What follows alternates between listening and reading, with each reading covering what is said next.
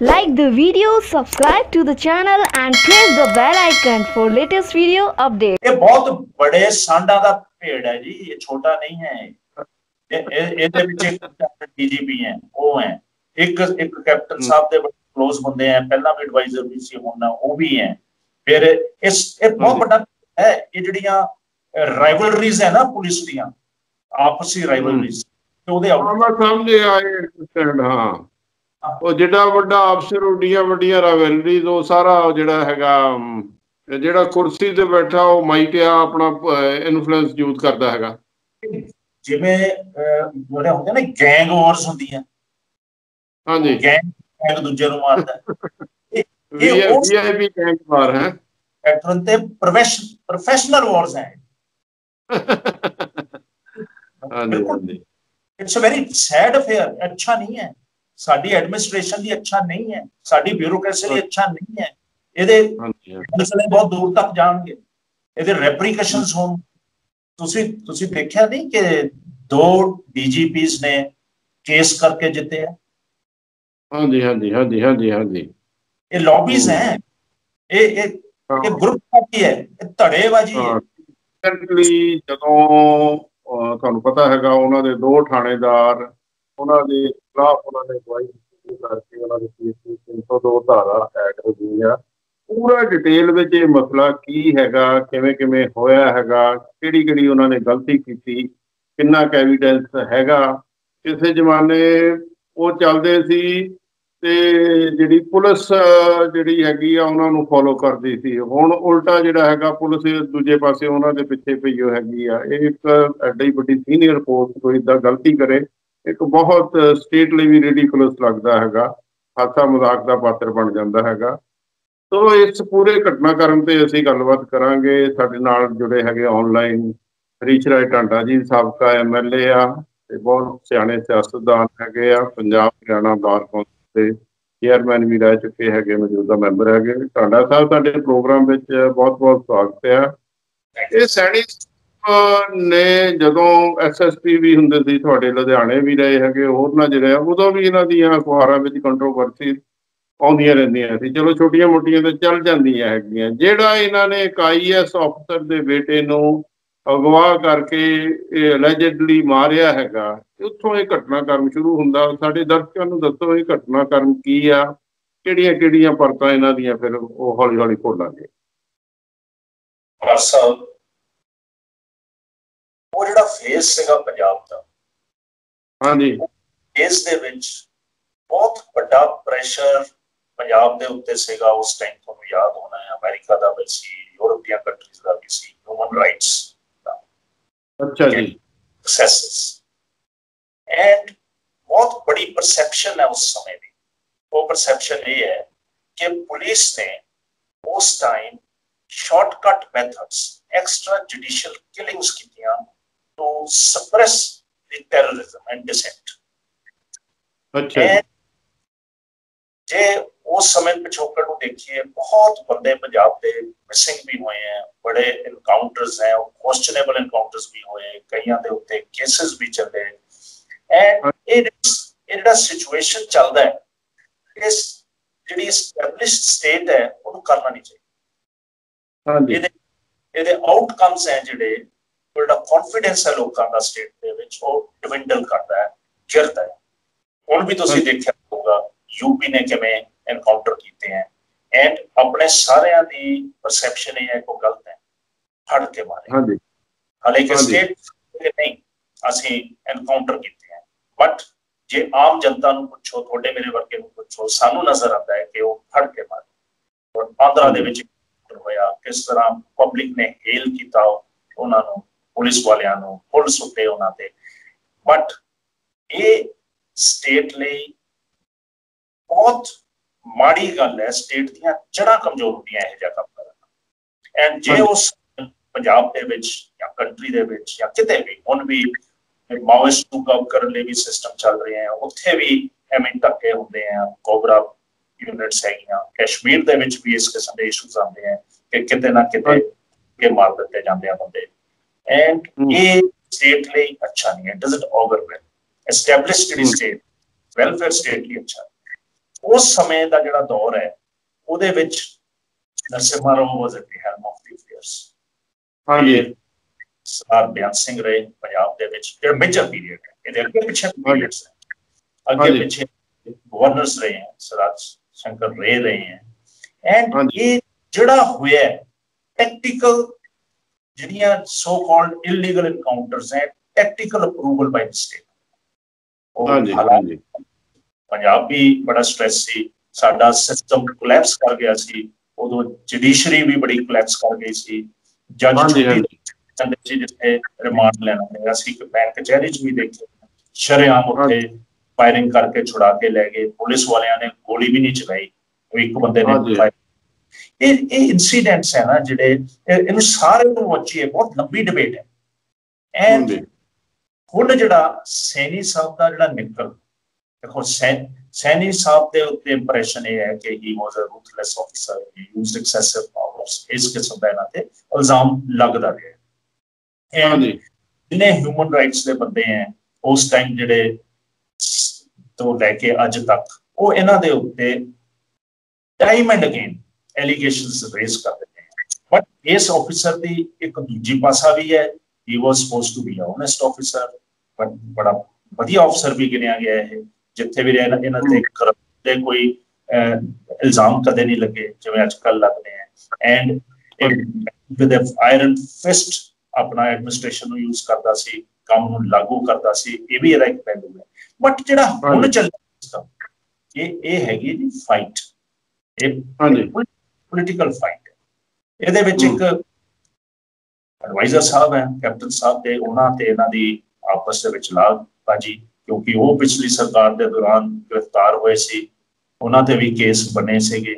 ਉਹਦਾ ਕਿਤੇ ਨਾ ਕਿਤੇ ਇੱਕੋ ਕੈਟ ਪਿੰਕੀ ਇਸ ਤਰ੍ਹਾਂ ਦਾ ਚੱਲਦਾ ਰਹਿੰਦਾ। ਇਹ ਫਿਰ ਟਾਂਡਾ ਸਾਹਿਬ ਇਹ ਮੈਨੂੰ ਇਹ ਦੱਸੋ ਇਹ ਕੇਸ ਤਾਂ ਬੜਾ ਪੁਰਾਣਾ ਹੈਗਾ। ਇਹ ਹੁਣ ਕੁਝ ਦੇਰ ਤੋਂ ਕਿਉਂ ਰੀਓਪਨ ਹੋਇਆ? ਉਹ ਫੈਕਟਸ ਆ ਪਹਿਲਾਂ ਵੀ ਫੈਕਟਸ ਸੀ ਉਦੋਂ ਕਿਉਂ ਇਹ ਬੰਦ ਰਿਹਾ ਹੈਗਾ? ਇਹ ਹੁਣ ਸਰਪਸ ਕਿਵੇਂ ਆ ਗਿਆ ਅਚਾਨਕ? ਇੱਕ ਬਹੁਤ ਵੱਡੇ ਪੁਲਿਸ ਅਫਸਰ ਵੀ ਅਰੈਸਟ ਹੋਏ ਸੀ ਯਾਦ ਕਰੋ ਤੁਸੀਂ। ਹਾਂਜੀ। ਡੀਜੀਪੀ ਹੂੰ। ਉਹਨਾਂ ਦਾ ਬੇਟਾ ਹੁਣ ਇਹਦੀ ਪੈਰਵੀ ਕਰ ਰਿਹਾ। ਇਹ ਇਹ ਲੜਾਈ ਹੈ ਇਹ ਵਾਰ ਹੈ between the retired ਅਫਸਰਸ this is a ਅੱਛਾ। ਵਾਰ ਇਹ ਕਿਤੇ ਨਾ ਕਿਤੇ ਹਾਈ ਹੈਂਡਡਨੈਸ ਇੱਕ ਨੇ ਦੂਜੇ ਤੇ ਕੀਤੀ, ਦੂਜੇ ਨੇ ਉਹਦੇ ਤੇ ਕੀਤੀ। ਦਿਸ ਇਜ਼ ਅ ਵਾਰ ਐਂਡ ਇਹ ਸੈਣੀ ਸਾਹਿਬ ਦਾ ਫੇਜ਼ ਐਸਾ ਰਿਹਾ ਹੈ ਕਿ he has been a premier officer of every government ਪਿਛਲੀ ਵਾਰ ਕੈਪਟਨ ਗਵਰਨਮੈਂਟ ਦੀ ਸਰਕਾਰ ਦੇ ਵਿੱਚ ਵੀ ਇਹ ਪ੍ਰੋਮਿਨੈਂਟ ਪੋਜੀਸ਼ਨ 'ਚ ਰਹੇ ਕੈਪਟਨ ਮਦਰ ਸਾਹਿਬ ਦੇ ਵਿੱਚ। ਅਕਾਲੀ ਦਲ ਦੇ ਸਮੇਂ ਡੀਜੀਪੀ ਵੀ ਰਹੇ। ਉਦੋਂ ਪਹਿਲੀਆਂ ਸਰਕਾਰਾਂ 'ਚ ਵੀ ਇਹਨਾਂ ਨੂੰ ਪ੍ਰੋਮਿਨੈਂਟ ਪੋਜੀਸ਼ਨਸ ਮਿਲੀਆਂ। ਬਿਆਨ ਸਿੰਘ ਦੇ ਸਮੇਂ ਵੀ ਇਹਨਾਂ ਨੂੰ ਪ੍ਰੋਮਿਨੈਂਟ ਪੋਜੀਸ਼ਨ ਮਿਲੀਆਂ। it, he has been throughout on a very very of coveted positions ਜਿੱਥੇ ਲੋੜ ਸੀ ਜਿੱਥੇ ਸਖਤ ਐਡਮਿਨਿਸਟ੍ਰੇਸ਼ਨ ਦੀ ਲੋੜ ਸੀ ਇਹ ਜਦ ਸਟੇਟ ਦੇ ਆਰਗਨਸ ਨੂੰ ਯੂਜ਼ ਕਰਕੇ ਇਸ ਕਿਸਮ ਦੇ ਕੇਸਸ ਹੋਣ ਇਹ ਵੀ ਮਾੜਾ this is also mad for democratic system ਹੁਣ ਲੱਭਣਾ ਲੱਭ ਕੇ ਦੇਖੋ ਇਹ ਇਹ ਹੈ ਹੁਣ ਸਚਾਈ ਕੀ ਹੈ ਗੋਡ ਨੋਸ ਪਰਸੈਪਸ਼ਨ ਹੈ ਕਿ ਉਹ ਦੇਖੋ ਇੱਕ ਤਾਂ ਫੈਕਟ ਹੈ ਕਿ ਉਹ ਬੰਦਾ ਫੜਿਆ ਸੀ ਇਹ ਵੀ ਫੈਕਟ ਹੈ ਦਾ ਵਰਸ਼ਨ ਹੈ ਕਿ ਉਹ ਭੱਜ ਗਿਆ। ਇਹ ਵੀ ਫੈਕਟ ਹੈ ਕਿ ਉਹ ਬੰਦਾ ਮੁੜ ਕੇ ਨਜ਼ਰ ਨਹੀਂ ਆਇਆ। ਇਟ ਮੀਨਸ ਪ੍ਰਜ਼ੰਪਸ਼ਨ ਹੈ ਕਿ ਉਹ ਬੰਦਾ ਮਰ ਚੁੱਕਾ ਹੈ। ਸੋ ਜੇ ਮਰ ਚੁੱਕਾ ਹੈ ਪੁਲਿਸ ਨੇ ਤੁਸੀਂ ਤਾਂ ਬਹੁਤ ਰਨਾਉਂਡ ਇਹਦੇ ਲੀਗਲ ਮਾਹਰ ਹੋ। ਹਾਂਜੀ ਹਾਂਜੀ। ਹੈਲੋ ਆਵਾਜ਼ ਆ ਰਹੀ ਹੈ ਟਾਂਡਾ ਸਾਹਿਬ ਮੇਰੀ? ਕਿਸੇ ਦੀ ਲਾਈਫ ਜਦ ਇਨਵੋਲਡ ਹੋਵੇ ਇਟਸ ਅ ਸੀਰੀਅਸ ਇਸ਼ੂ ਤਾਂ ਉਹ ਮੈਂ ਪਹਿਲਾਂ ਵੀ ਤੁਹਾਨੂੰ ਕਿਹਾ। ਜਦ ਸਟੇਟ ਇੰਟਰਮਿੰਗਲ ਕਰ ਜਾਂਦੀ ਹੈ ਇਸ ਕਿਸਮ ਦੇ ਕੰਮਾਂ ਦੀ। ਮੈਂ ਉਦੋਂ ਵੀ ਕਹਿੰਦਾ ਹੁੰਦਾ ਸੀਗਾ ਕਿ ਕਾਨੂੰਨ ਸਖਤ ਬਣਾਓ। ਤੁਸੀਂ ਸ਼ਾਰਟ। ਸ਼ਾਰਟ ਟ੍ਰਾਇਲਸ ਕਰੋ। ਸ਼ਾਰਟ ਟ੍ਰਾਇਲ ਕਰਕੇ ਹਾਂਜੀ। ਸੀਕ੍ਰੀਟ ਐਵੀਡੈਂਸ ਕਲੈਕਟ ਕਰੋ। ਨਾ ਡਿਸਕਲੋਜ਼ ਕਰੋ ਉਹਨਾਂ ਦਾ ਗਵਾਹਾਂ ਦਾ ਨਾਮ। ਗਵਰਨਮੈਂਟ ਓਨ ਕਰੇ ਕਿ ਜਿੱਥੇ ਵੀ ਕਿਸੇ ਦੀ ਕਿਲ ਹੋਈ ਹੈ ਕਿ yes he has been put to death ਫਾਂਸੀ ਲੱਗੇ। ਹਾਂਜੀ ਹਾਂਜੀ। ਇਹ ਹੁਣ ਟਾਂਡਾ ਸਾਹਿਬ ਜਿਹੜੇ ਦੋ ਇਹਨਾਂ ਦੇ ਜੂਨੀਅਰ ਸੀਗੇ ਉਹਨਾਂ ਨੇ ਇਹਨਾਂ ਦੇ ਖਿਲਾਫ ਉਹ ਜਿਹੜੀ ਹੈਗੀ ਆ ਗਵਾਹੀ ਦਿੱਤੀ ਹੈਗੀ ਆ। ਉਹ ਹੁਣ ਲੀਗਲ ਪ੍ਰੋਸੈਸ ਤਾਂ ਜੋ ਉਹਨਾਂ ਨੇ ਗਵਾਹੀ ਦਿੱਤੀ ਹੈਗੀ ਆ ਉਹ ਪ੍ਰੋਸੈਸ ਸ਼ੁਰੂ ਹੋ ਗਿਆ 302 ਦੀ ਧਾਰਾ ਐਡ ਹੋ ਗਈ ਆ। ਇਹਦੇ ਰਿਪਰਕਸ਼ਨ ਕੀ ਹੁੰਦੇ ਕਾਨੂੰਨ ਮੁਤਾਬਕ? ਉਹ ਜੂਨੀਅਰਸ ਨਹੀਂ ਹੈ। ਉਹ ਉਹ ਅਕਿਊਜ਼ਡ ਹੈ। ਉਹਨਾਂ ਉਹ- ਉਹਨਾਂ ਉਹ ਅਪਰੂਵਰ ਬਣੇ ਆ ਅੱਛਾ ਉਹ ਵੀ ਅੱਛਾ ਉਹ ਅਕਿਊਜ਼ਡ ਉਹ ਵੀ ਅਪਰੂਵਰ ਬਣੇ ਆ। ਅਪਰੂਵਰ ਬਣੇ ਆ ਉਹਨਾਂ ਦਾ evidence will be a proper evidence but question ਇਹ ਹੈ ਕਿ ਉਹ ਕਰ ਰਹੇ ਹੈ ਕਿ ਕਿੱਦਾਂ ਕਰ ਰਹੇ ਹੈ ਜਦ ਦੇਖੋ ਕੋਰਟ 'ਚ ਜਦ ਕੇਸ ਬਣ ਕੇ ਆਊਗਾ ਫੇਰ ਹੀ ਡਾਈਸੈਕਸ਼ਨ ਹੋ ਕੇ ਦੱਸਿਆ ਜਾ ਸਕਦਾ ਹੈ ਕਿ ਕਿੰਨਾ ਕਿ ਸਕਸੈਸਫੁਲ ਹੋ ਕਿੰਨਾ ਨਹੀਂ ਹੋ। ਇਸ ਕਿਸਮ ਦੇ ਕੇਸਾਂ ਨੂੰ ਸੀਡ ਕਰਾਉਣਾ ਬਹੁਤ ਥੋੜਾ ਜਿਹਾ ਦੱਸੋ ਜਿਹੜਾ ਅਕਿਊਜ਼ਡ ਹੋਵੇ ਉਹ ਐਵੀਡੈਂਸ ਹੋਵੇ ਉਹ ਅਪਰੂਵਰ ਇਹ ਲੀਗਲੀ ਪਰਮਿਸਿਬਲ ਹੁੰਦਾ ਹੈਗਾ ਇਹ ਕਾਨੂੰਨ ਮੁਤਾਬਕ। ਯੈਸ ਉਹ ਉਹ ਕੋਰਟ ਕੋਰਟ ਤੇ ਮਰਜ਼ੀ ਹੈ ਕੋਰਟ ਉਹਨੂੰ। ਅਲਾਉ ਕਰੇ ਪਾਰਡਨ ਕੇ ਨਾ ਕਰੇ ਕੋਰਟ ਉਹਨੂੰ ਜੇ ਪਾਰਡਨ ਕਰ ਦੇਵੇ ਕਿ ਯੈਸ ਤੂੰ ਸੱਚ ਬੋਲਣ ਨੂੰ ਅੱਗੇ ਆ ਰਿਹਾ ਹੈ ਤੈਨੂੰ ਪਾਰਡਨ ਕਰਦੇ ਆ ਤੂੰ ਗਵਾਹ ਬਣ ਜਾ that that that is the situation ultimately to be seen by the court but that evidence is ਹੈ, ਉਹ ਐਵੀਡੈਂਸ। ਇਸਤੇਮਾਲ ਕੀਤਾ ਜਾ ਸਕਦਾ ਹੈ। ਪਰ ਸਵਾਲ ਇਹ ਹੈ ਨਾ ਇੰਨੇ ਸਾਲਾਂ ਦੇ ਬਾਅਦ evidence, ਇੰਨੇ ਸਾਲਾਂ ਦੇ ਬਾਅਦ ਹੁਣ ਉੱਥੇ ਬਹੁਤ ਕੁਝ ਬਦਲ ਗਿਆ ਹੁਣ ਹੁਣ ਤੁਸੀਂ ਮੈਂ ਵਿਦ ਅਥਾਰਟੀ ਕਹਿ ਰਹੇ ਹਾਂ ਜੀ ਮੈਂ ਜੋ ਦੇਖਦਾ ਰੋਜ਼ ਉਸ ਅਥਾਰਟੀ ਨਾਲ ਕਹਿ ਰਹੇ ਹਾਂ ਹਰ ਨਾਰਕਾਟਿਕਸ ਦਾ ਕੇਸ ਹਰ ਉਹਨਾਂ ਜਿਹੜੀ- ਟਾਂਡਾ ਸਾਹਿਬ ਦੋ ਥਾਣੇਦਾਰਾਂ ਨੇ ਆਪ ਬਚਣ ਲਈ ਗਵਾਹੀ ਇਹ ਦਿੱਤੇ ਅਪਰੂਵਰ ਬਣੇ ਕਿ ਸੈਣੀ ਸਾਹਿਬ ਨੂੰ ਫਸਾਉਣ ਲਈ ਉਹ ਇਹ- ਇਹ ਮਨਸ਼ਾ ਦੇਖਣੀ ਪਏਗੀ ਕੀ ਕੀ ਅਹ ਕੀ ਉਹਨਾਂ ਦੀ ਮਨਸ਼ਾ ਕੀ ਆ ਦੋਨੇ ਕੁਝ ਦੋਨੇ ਕੁਝ ਹੈਂ? ਕਿਹਾ ਕਿ ਤੁਹਾਨੂੰ ਸੈਣੀ ਦੇ- ਸੈਣੀ ਨੂੰ ਫਸਾਓ। ਇਹ ਬਹੁਤ ਬੜੇ ਸਾਂਡਾ ਦਾ ਭੇੜ ਹੈ ਜੀ ਇਹ ਛੋਟਾ ਨਹੀਂ ਹੈ ਇਹ। ਇਹ- ਇਹਦੇ ਵਿੱਚ ਇੱਕ ਡੀਜੀਪੀ ਹੈ ਉਹ ਹੈ। ਇੱਕ ਇੱਕ ਕੈਪਟਨ ਸਾਹਿਬ ਦੇ ਬੜੇ ক্লোਜ਼ ਹੁੰਦੇ ਆ ਪਹਿਲਾਂ ਵੀ ਐਡਵਾਈਜ਼ਰ ਵੀ ਸੀ ਹੁਣ ਉਹ ਵੀ ਹੈ। ਫਿਰ ਇਸ ਇਹ ਬਹੁਤ। ਵੱਡਾ ਹੈ ਇਹ ਜਿਹੜੀਆਂ ਰਾਈਵਲਰੀਜ਼ ਹੈ ਨਾ ਪੁਲਿਸ ਦੀਆਂ ਆਪਸੀ ਰਾਈਵਲਰੀਜ਼ ਤੇ ਉਹਦੇ ਸਮਝ ਗਿਆ ਇਹ understand, ਹਾਂ। ਉਹ ਜਿਹੜਾ ਵੱਡਾ ਅਫਸਰ ਉੱਡੀਆਂ ਵੱਡੀਆਂ ਰਾਵੈਲਰੀਜ਼ ਉਹ ਸਾਰਾ ਜਿਹੜਾ ਹੈਗਾ ਜਿਹੜਾ ਕੁਰਸੀ ਤੇ ਬੈਠਾ ਉਹ ਮਾਈਕ ਆ ਆਪਣਾ ਇਨਫਲੂਐਂਸ ਯੂਜ਼ ਕਰਦਾ ਹੈਗਾ। ਜਿਵੇਂ ਅਹ, ਜਿਹੜੇ ਹੁੰਦੇ ਨੇ ਗੈਂਗ ਵਾਰਸ ਹੁੰਦੀਆਂ। ਹਾਂਜੀ। ਗੈਂਗ ਇੱਕ ਦੂਜੇ ਨੂੰ ਮਾਰਦਾ। ਇਹ ਉਸ- ਵੀਆਈਪੀ ਕੈਂਪ ਬਾਰ ਹੈ। ਐਕਟਰ ਤੇ ਪ੍ਰੋਫੈਸ਼ਨਲ ਵਾਰਸ ਹੈ। ਹਾਂਜੀ ਹਾਂਜੀ। It's a very sad affair ਅੱਛਾ ਨਹੀਂ ਹੈ। ਸਾਡੀ ਐਡਮਿਨਿਸਟ੍ਰੇਸ਼ਨ ਦੀ ਅੱਛਾ ਨਹੀਂ ਹੈ ਸਾਡੀ ਬਿਊਰੋਕ੍ਰੇਸੀ ਲਈ ਅੱਛਾ ਨਹੀਂ ਹੈ। ਇਹਦੇ ਮਸਲੇ ਬਹੁਤ ਦੂਰ ਤੱਕ ਜਾਣਗੇ। ਇਹਦੇ ਰੈਪਰੀਕੇਸ਼ਨਸ ਹੋਣ।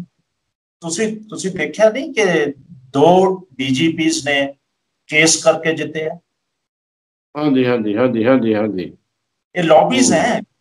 ਇਹ ਇਹ ਇਹ ਗਰੁੱਪ ਪਾਰਟੀ ਹੈ। ਇਹ ਧੜੇਬਾਜ਼ੀ ਹੈ। ਹਾਂ। ਹਾਂ ਨਹੀਂ ਮੈਨੂੰ ਪਤਾ ਮੈਨੂੰ ਸਟੇਟ ਜਿਹੜੀ ਇਹ ਪੁਲਿਸ ਵਿੱਚ ਲੌਬੀ ਆ ਮੈਨੂੰ ਲਗਭਗ ਸਾਰਾ ਪਤਾ। ਅੱਛਾ ਇੱਕ ਮੈਨੂੰ ਹੋਰ ਗੱਲ ਦੱਸੋ ਬੋਲ ਨਹੀਂ ਸਕਦੇ ਹਾਂਜੀ।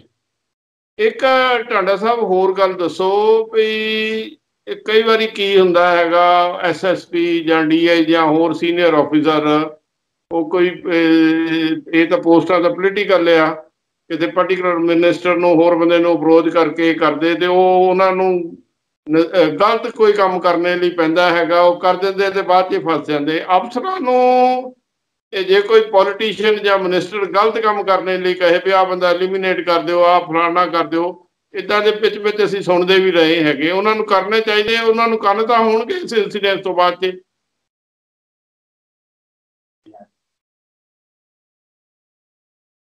ਇਹਦੇ ਚ ਦੇਖੋ ਮੈਂ ਸਮਝਦਾ ਪਰਸਾ ਹਾਂਜੀ।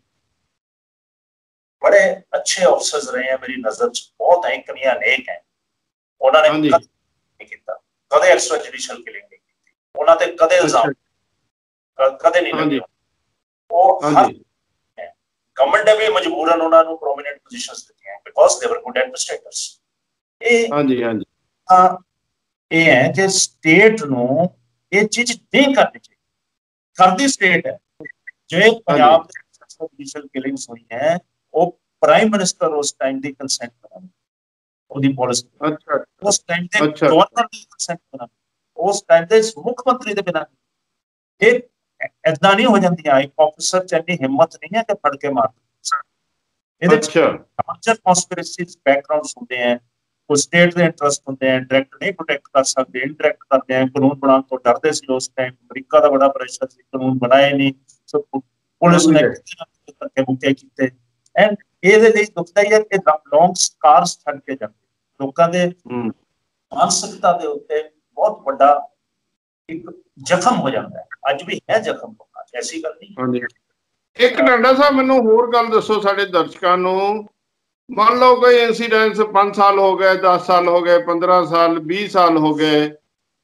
ਜਿਹੜਾ ਕਿਸੇ ਇਨਕੁਆਰੀ ਵਿੱਚ ਹਸ਼ਪ ਹੋ ਗਿਆ ਦਬ ਗਿਆ। ਜਾਂ ਕੋਈ ਜੱਜਮੈਂਟ ਆ ਗਈ ਹੈਗੀ ਮੁੜ ਕੇ ਅੱਗੇ ਨਹੀਂ ਕੀਤਾ ਹੈਗਾ ਉਹ ਲੀਗਲੀ ਸਾਡੇ ਲੀਗਲ ਸਿਸਟਮ ਵਿੱਚ ਕਦੋਂ ਕਿੰਨੀ ਦੇਰ ਤੱਕ ਉਹ ਫੁਰ ਕੇ ਫਿਰ ਰੀਓਪਨ ਕੀਤਾ ਜਾ ਸਕਦਾ ਹੈਗਾ ਲੀਗਲੀ ਪਰ ਜੇ ਜਿਹੜਾ 3 ਸਾਲ ਦੀ ਸਜ਼ਾ ਤੋਂ ਉੱਪਰ ਵਾਲੇ ਕੇਸਾਂ ਦੇ ਲਿਮਿਟੇਸ਼ਨ 3 ਸਾਲ ਤੋਂ ਉੱਪਰ ਵਾਲੀ ਸਜ਼ਾ ਵਾਲੇ ਕੇਸ ਲਿਮਿਟੇਸ਼ਨ ਕੋਈ। ਜਦ ਮਰਜ਼ੀ ਕੋਣ ਅੱਛਾ ਜੀ। ਜੇ ਤੁਸੀਂ ਕਿਤੇ ਇਨਕੁਆਇਰੀਆਂ ਹੋ ਕੇ ਲੌਂਗ ਟਾਈਮ ਹੋ ਗਿਆ 20 20 30 30 ਸਾਲ ਹੋ ਗਏ ਉੱਥੇ ਕੋਰਟ ਦੀਆਂ ਜਜਮੈਂਟਸ ਹੈ ਕਿ ਇਹ ਜਿਹੇ ਕੇਸ ਨੂੰ ਨਹੀਂ ਹੋਵੇ ਇਟ ਸ਼ੁੱਡ ਨਾਟ ਹੋ ਹਲੇ ਕਿ ਲਾਅ ਨਹੀਂ ਹੈ। ਸੀਆਰਪੀਸੀ। ਕੋਈ ਲਿਮਿਟੇਸ਼ਨ ਹੈ ਬਟ ਜਜਮੈਂਟਸ ਹੈ ਕੇਸ ਹੋ ਗਿਆ ਇੱਕ ਇਨਕੁਆਇਰੀ ਹੋਗੀ ਦੋ ਇਨਕੁਆਇਰੀ ਹੋਗੀ ਤਾਂ ਖਤਮ ਕਰੋ। ਪਰ ਨਵੇਂ ਕਾਨੂੰਨ ਵੀ ਆ ਜਾਂਦੇ ਆ। ਹੁਣ ਜੈਸਿਕਾ ਲਾਲ ਵਾਲੇ ਕੇਸ ਦੇ ਵਿੱਚ ਕੇਸ ਹੋ ਗਿਆ ਟ੍ਰਾਇਲ ਹੋ ਗਿਆ ਸਾਰਾ ਹੋਣ ਦੇ ਬਾਅਦ ਫੇਰ ਰੀਓਪਨ ਕਰਤਾ। ਨੈਵਰ ਐਂਡਿੰਗ ਮੈਨੂੰ ਸਮਝ ਨਹੀਂ ਆਇਆ ਐਸ ਪਲੇਅਰ ਮੇਰੇ ਲਈ ਉਹ ਬੜੀ ਅਜੀਬ ਜੀ ਚੀਜ਼ ਸੀ ਸਮਝਣ ਦੀ ਕਿ ਟ੍ਰਾਇਲ ਹੋ ਕੇ ਸਭ ਬੰਦਾ ਬਰੀ ਹੋ ਕੇ ਮੁੜ ਕੇ ਕਿਵੇਂ। ਇਹ ਬੜੀ ਹਾਂਜੀ ਨਹੀਂ ਗੱਲ ਹੈ। ਬਟ ਹੈ ਹੁਣ ਇਹ ਇੱਕ ਡੈਮੇਜਿੰਗ ਇਫੈਕਟ ਤਾਂ ਹੈ ਜਿਹੜਾ ਕਿ 30 ਸਾਲ ਬਾਅਦ ਹੁੰਦਾ 20 ਸਾਲ ਬਾਅਦ ਪ੍ਰੋਸੀਕਿਊਸ਼ਨ ਨੂੰ ਪ੍ਰੂਵ ਕਰਨਾ ਬਹੁਤ ਔਖਾ ਹੋ ਜਾਂਦਾ ਬਹੁਤ ਸਟਰੋਂਗ ਐਵੀਡੈਂਸ ਲੈ ਕੇ ਆਣਾ ਪੈਂਦਾ। ਅੱਛਾ ਅੱਛਾ। ਜਿਹੜਾ ਮਤਲਬ ਜਿਹਨੂੰ ਆਮ ਕਹਿੰਦੇ 100% ਐਵੀਡੈਂਸ ਚਾਹੀਦਾ ਹੈਗਾ ਫਿਰ ਕਿਤੇ ਜਾ ਕੇ ਇਹ ਗਰੁੱਪ ਬਾਜੀਆਂ ਨਾ ਪੁਲਿਸ ਦੀਆਂ ਇਹ ਨੁਕਸਾਨ ਕਰਦੀਆਂ ਇੱਕ ਪੁਰਾਣਾ ਐਕਟ ਹੈ ਜਿਹੜਾ ਰੌਲਾ ਬਹੁਤ ਪਾਉਂਦਾ ਅੱਜ ਕੱਲ ਸਜ਼ਾ ਕੱਟ ਕੇ ਆਇਆ। ਇਸ ਕੇਸ ਦੇ ਵਿੱਚ ਵੀ ਉਹਨੇ ਪਾਇਆ ਉਹਦੀ ਵਾਇਰਲ ਵੀ ਹੋਈ ਹੈ ਐਂਡ ਮੈਨੂੰ ਪਤਾ ਉਹਦੇ ਤੇ ਇੱਕ ਮਰਡਰ ਕੇਸ ਲੁਧਿਆਣੇ ਹੋਇਆ ਸੀ ਜਿਹਦੀ ਉਹ ਸਜ਼ਾ ਕੱਟ ਕੇ ਆਇਆ। ਉਹ ਝੂਠ ਕੇਸ ਸੀ ਉਹ ਵੀ ਇਹ ਗਰੁੱਪ ਹੈ ਹਮ। ਉਹ ਅੱਛਾ। ਉਸ ਮਰਡਰ ਨਹੀਂ ਸੀ ਕੀਤਾ। ਬਟ ਉਹਨੂੰ ਗਵਾਹ ਖੜਾ ਕਰਤਾ ਸੀ ਡਿਸੀਜ਼ ਦੇ ਫਾਦਰ ਨੇ ਕਹਿਤਾ ਗੋਲੀ ਉਹਨੇ ਚਲਾਤੀ ਹਲੇ ਕੋਈ ਇਨਵੋਲਡ ਨਹੀਂ ਸੀਗਾ। ਮੈਨੂੰ ਪਰਸਨਲ। ਨੌਲੇਜ ਬਟ ਜਦ ਇਸ ਕਿ ਹੁੰਦੇ ਆ ਹੁਣ ਉਹ ਬੋਲਦਾ ਹੁਣ ਉਹਨੂੰ ਮੌਕਾ ਹੈ। ਉਸ ਸਮੇਂ ਦਾ। ਉਹਨੂੰ ਕਿ ਸੈਨਿਕ ਪ੍ਰੋਟੈਕਟ ਨਹੀਂ ਕੀਤਾ। ਹੌਲੇ ਕਿ ਉਹਨੂੰ। ਗੁੱਸਾ ਤਾਂ ਜਿਨ੍ਹਾਂ ਨੇ ਤੈਨੂੰ ਵਿਕਟਿਮਾਈਜ਼ ਕੀਤਾ ਉਹਨੂੰ ਗੁੱਸਾ ਸੈਨੀ ਤੇ ਆ। ਬੋਲ ਸਭ ਤੇ ਬੋਲਦਾ। ਇਹ ਗੱਲਾਂ ਗਰੁੱਪਾਜੀ ਕਰਦੇ ਹੋ ਗਰੁੱਪਾਜੀ ਕਰਕੇ ਇਨਜਸਟਿਸ ਕਰਦੇ ਹੋ ਲੋਕਾਂ ਦੇ ਨਾਲ ਧੱਕੇ ਕਰਦੇ ਹੋ ਫਿਰ ਐਸੀਆਂ ਰੈਪਰੀਕੇਸ਼ਨਸ ਹੁੰਦੇ ਨੇ ਚਲੋ ਇਹ ਅਫਸਰਾਂ ਨੇ ਆਪਣੀ ਕਿਹੜ ਕੱਢਣੀ ਹੁੰਦੀ ਪੋਲੀਟੀਸ਼ੀਅਨ ਨੇ ਵੀ ਆਪਣਾ ਕਰਨਾ ਹੁੰਦਾ ਇਹ ਕੋਰਟਸ ਵਿੱਚੋਂ ਮਤਲਬ ਹਰ ਬੰਦੇ ਨੂੰ ਇਨਸਾਫ ਮਿਲ ਜਾਂਦਾ ਤੁਸੀਂ ਤਾਂ ਚੇਅਰਮੈਨ ਰਹੇ ਹੋ ਬਾਰ ਕਾਉਂਸਲ ਦੇ ਟੈਕਸ ਦੇ ਬੇਸ ਤੇ। ਜੋ ਜੋ ਹਾਰ ਗਿਆ ਸੋ ਮਰ ਗਿਆ ਜੋ ਜਿੱਤ ਗਿਆ ਸੋ ਜੋ ਜਿੱਤ ਗਿਆ ਸਿਸਟਮ ਕਰਨਾ ਕਮੈਂਟ ਕਰਨਾ ਡਰ ਵੀ ਲੱਗਦਾ ਕਿਤੇ ਪਰੇਸ਼ਾਨ। ਜੋ ਫੜ ਕੇ ਬਸ ਉਹ ਤੁਸੀਂ ਆਨਸਰ ਦਿੱਤਾ ਜਿਹੜਾ ਹਾਰ ਗਿਆ ਹਾਰ ਗਿਆ ਜੋ ਜਿੱਤ ਗਿਆ ਜਿੱਤ ਗਿਆ। ਟਾਡਾ ਸਾਹਿਬ ਤੁਸੀਂ ਸਾਡੇ ਨਾਲ ਜੁੜੇ ਬਹੁਤ ਵਧੀਆ ਤੁਸੀਂ ਇਸ ਕੇਸ ਬਾਰੇ ਜਾਣਕਾਰੀ ਦਿੱਤੀ ਆ। ਮੈਨੂੰ ਉਮੀਦ ਹੈ ਸਾਰੇ ਦਰਸ਼ਕਾਂ ਨੂੰ ਇਹ ਪ੍ਰਾਇਮਰੀ ਫੇਸੀ ਕੇਸ ਕੀ ਹੈਗਾ। ਕੀ ਕੀ ਡਿਵੈਲਪਮੈਂਟ ਹੋਈਆਂ ਕੀ ਇੱਕ ਇੰਟਰਨਲ ਪੋਲਿਟਿਕਸ ਚੱਲਦੀ ਹੈਗੀ ਆ ਇੰਟਰਨਲ ਵੈਲਰੀ ਕੀ ਆ ਇਹ ਸਾਰੀਆਂ ਗੱਲਾਂ ਤੋਂ ਦਰਸ਼ਕ ਜਾਣੂ ਹੋਣਗੇ। ਟਾਂਡਾ ਸਾਹਿਬ ਬਹੁਤ ਬਹੁਤ ਮਿਹਰਬਾਨੀ ਗਾਂ ਵੀ ਕਦੀ ਕਦੀ ਤਕਲੀਫ ਦੇਵਾਂਗੇ। Thank you very much thank you Jai Bhim. Thank you